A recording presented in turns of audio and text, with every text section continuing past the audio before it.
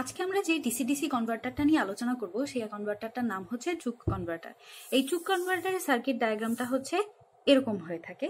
এর আগে আমরা বাক কনভার্টার বুস্ট কনভার্টার এবং বাক বুস্ট কনভার্টার পড়েছি। প্রত্যেকটা সার্কিট যদি মনে থাকে, তাহলে দেখব যে সেই কনভার্টারগুলোর সার্কিটে একটা ইন্ডাক্টর ছিল, কিন্তু এই সার্কিটে হচ্ছে দুইটা ইন্ডাক্টর আছে। আলোচনার সুবিধার জন্য আমরা ইন্ডাক্টর দুটিকে, একটাকে ইন্ডাক্টর ওয়ান বা এল ওয়ান আর একটাকে হচ্ছে এল টু দিয়েছি। এবং ক্যালকুলেশনের সুবিধার জন্য আমরা হচ্ছে সুইচ অন অথবা অফ অবস্থায় একবার ইন্ডাক্টর ওয়ানে কি হয় এবং আরেকবার হচ্ছে ইন্ডাক্টর দুইতে কীরকম আচরণ করে সেটা দেখব। আমরা আগেই বলেছিলাম যে এখানে যেসব সুইচ ব্যবহার করা হচ্ছে সেগুলো হচ্ছে একটা পাওয়ার মসফেট। এই মসফেটের গেটে যখন আমরা গেট বায়াস দিব, তখন হচ্ছে এই মসফেটটা অন হয়ে যাবে। আবার যখন গেট বায়াসটা সরাই ফেলব, তখন হচ্ছে এই মসফেটটা অফ হয়ে যাবে। মসফেটটা অন অর্থাৎ সার্কিট মসফেটটা যখন অন থাকবে, অর্থাৎ যখন এটা ক্লোজড অবস্থায় থাকবে, সেটা একটা ক্লোজ সুইচের মতন কাজ করবে, তখন সার্কিট একরকম ভাবে আচরণ করবে। আবার যখন আমরা এই মসফেট থেকে বায়াসিংটা সরাই দিব, তখন হচ্ছে মসফেটটা অফ হয়ে যাবে। তা অনেকটা ওপেন সুইচ অর্থাৎ বাটনটা খোলা অবস্থায় আছে, এমন আচরণ করবে। তো প্রথমে আমরা মসফেটে যখন বায়াস দেয়া হবে, অর্থাৎ মসফেটটা যখন অন থাকবে সুইচ ক্লোজড সে অবস্থায় এক নম্বর ইন্ডাক্টরটা কি হয় সেটা একটু দেখে আসি। সুইচ ক্লোজড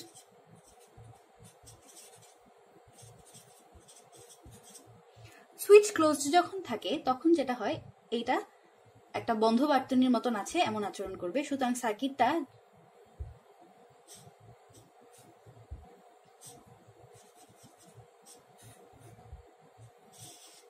অর্থাৎ সার্কিটের এই প্রান্তটা হচ্ছে বন্ধ হয়ে গেছে, এমন মনে হবে। তাহলে এখন এই লুপের মধ্যে দিয়ে একটা কারেন্ট যাবে। এই লুপের মধ্যে দিয়ে যদি এখন আমরা কেভিএল প্রদর্শন করি, তখন যেটা হবে,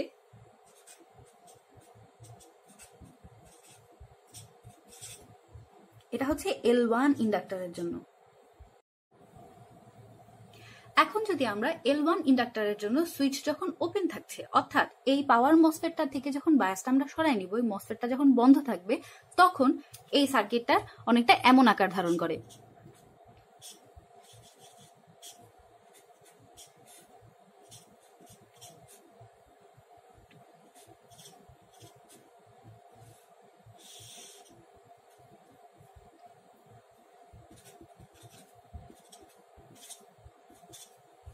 এখন যদি আমরা এই লুপের মধ্যে দিয়ে একটা কেভিএল চালাই, তখন আমরা দেখতে পারব যে লুপ ইকুয়েশনটা হবে হচ্ছে অনেকটা এরকম।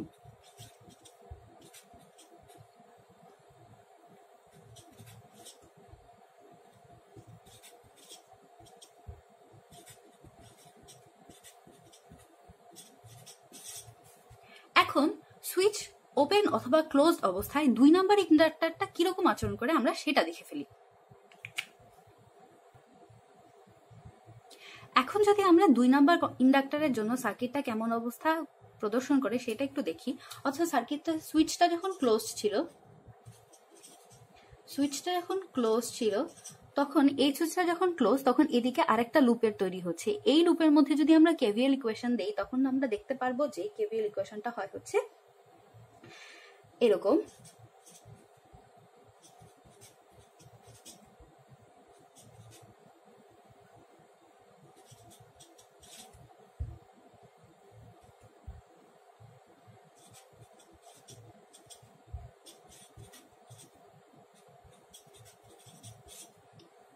এখানে যে দুই নাম্বার ক্যাপাসিটারটা ব্যবহার করা হচ্ছে, এই ক্যাপাসিটারটা মূলত হচ্ছে একটা ফিল্টার হিসেবে ব্যবহার করা হয়। তাই সার্কিটের অ্যাক্টিভ উপাদান হিসেবে এখানে সি ওয়ান ক্যাপাসিটারটা আছে এবং সি টুটা হচ্ছে শুধুমাত্র ফিল্টার হিসেবে কাজ করে। তাই অনেক সময় বিভিন্ন বইতে প্রমাণের বিভিন্ন স্টেপ লেখার সময় এই ভিসি ওয়ানকে শুধুমাত্র ভিসি লেখা হয়।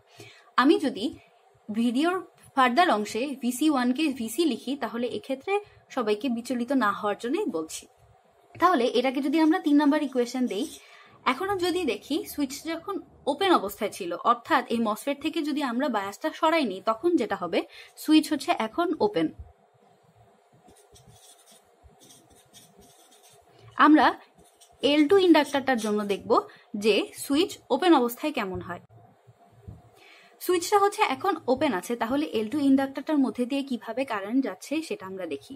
সুইচটা যখন ওপেন হয়ে যাবে, তখন সার্কিটটার দিকে যদি আমরা একটু লক্ষ্য করি আমি সার্কিটটা আবার রাখি সুইচটা ওপেন অবস্থায় কেমন হয় সেটা দেখার জন্য।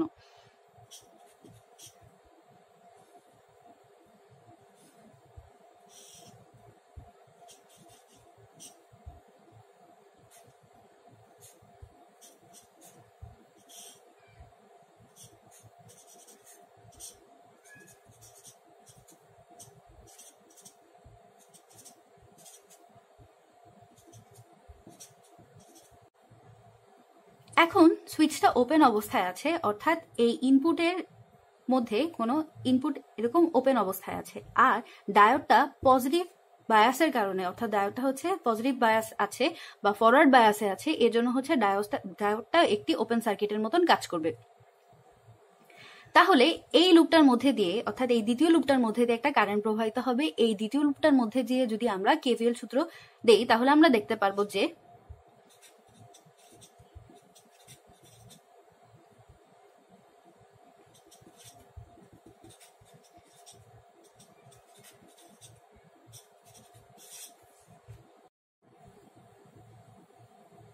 এখন যদি একটা সম্পূর্ণ সাইকেলে ইন্ডাক্টর ওয়ানের মধ্যে দিয়ে ভোল্টেজের পরিবর্তন কেমন হয় সেটা যদি আমরা ক্যালকুলেট করতে চাই, তাহলে আমাদেরকে লিখতে হবে এভাবে।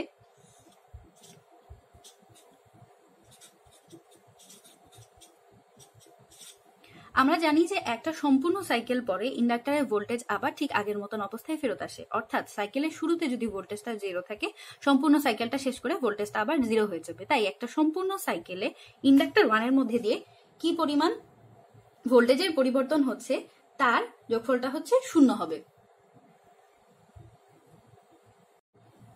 একটা কমপ্লিট সাইকেলের মধ্যে ইন্ডাক্টর ওয়ানের ভোল্টেজের কেমন পরিবর্তন হয় আমরা এখন সেটা দেখব। আমরা দেখেছি যে এই সম্পূর্ণ ক্লোজ সাইকেলের মধ্যে, অর্থাৎ সুইচটা যখন ক্লোজ থাকে, তখন ইন্ডাক্টরটা একরকম ভাবে আচরণ করে, আবার সুইচটা যখন ওপেন হয়ে যায়, তখন ইন্ডাক্টরটা আরেক রকম আচরণ করে। তাই এই সম্পূর্ণ সাইকেলটাকে আমরা ওপেন ওপেন সুইচের জন্য এবং ক্লোজ সুইচের জন্য কেমন হতে পারে সেটা জন্য আলাদা আলাদা করে হিসাব করব। অর্থাৎ একটা ডিউটি সাইকেলে যখন সুইচটা অন থাকে তখন, আবার ডিউটি সাইকেলে যখন সুইচটা অফ থাকে তখন এই দুইটা হিসাব আমরা আলাদা আলাদা করে লিখব। তাই এই ইকুয়েশনটাকে আমরা ভেঙে দুইভাবে, দুইটা অংশে লিখতে পারি। একটা হচ্ছে এমন টি অন পর্যন্ত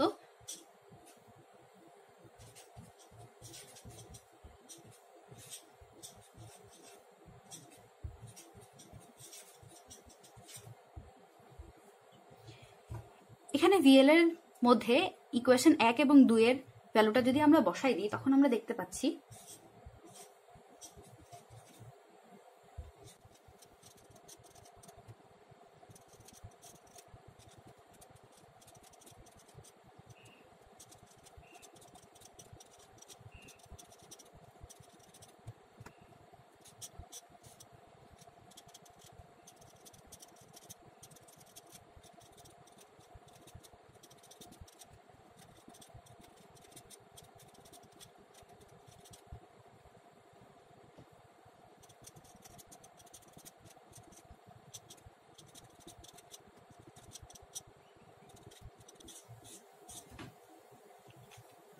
আমরা এখানে দেখতে পাচ্ছি যে আমরা এক নম্বর ইন্ডাক্টরের মধ্যে দিয়ে ভোল্টেজের কীরকম পরিবর্তন হচ্ছে, সেই পরিবর্তনটা একটা সম্পূর্ণ সাইকেলে দেখার পরে দেখা যাবে যে আউটপুট ভোল্টেজের সাথে ইনপুট ভোল্টেজের একটা সরাসরি সম্পর্ক আমরা পাই না।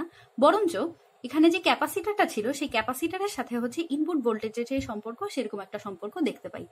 তাহলে আমরা এখন দুই নম্বর ইন্ডাক্টরের মধ্যে দিয়ে একটা কমপ্লিট সাইকেলের মধ্যে দিয়ে কেমন পরিবর্তন হয় সেই পরিবর্তনটা লক্ষ্য করি এবং ইনপুটের সাথে আউটপুটের একটা সম্পর্ক স্থাপনের চেষ্টা করি। হয়, অর্থাৎ একটা কমপ্লিট টাইম সাইকেলে কি পরিবর্তন হয় সেটা যদি আমরা জানতে চাই, তাহলে আমাদেরকে যেটা করতে হবে,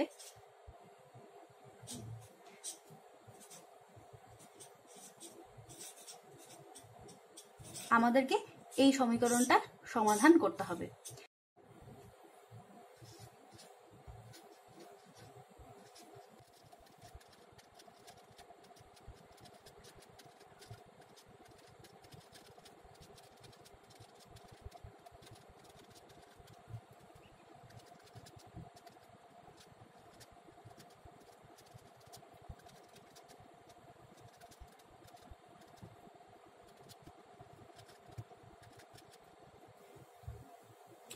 এখন নিশ্চয়ই মনে আছে ভিসি এর সাথে ভি ইন অর্থাৎ ইনপুট ভোল্টেজের আমরা একটা সম্পর্ক বের করেছিলাম। সেই সম্পর্কটা ছিল হচ্ছে অনেকটা এরকম।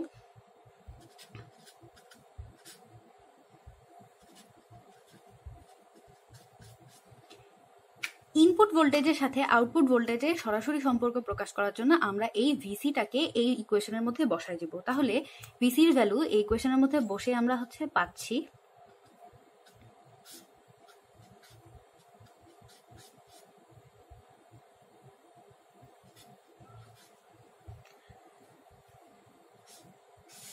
তাহলে এটাই হচ্ছে চুক কনভার্টারের ইনপুটের সাথে আউটপুটের সম্পর্ক। অর্থাৎ ইনপুট ভোল্টেজের সাথে আউটপুট ভোল্টেজের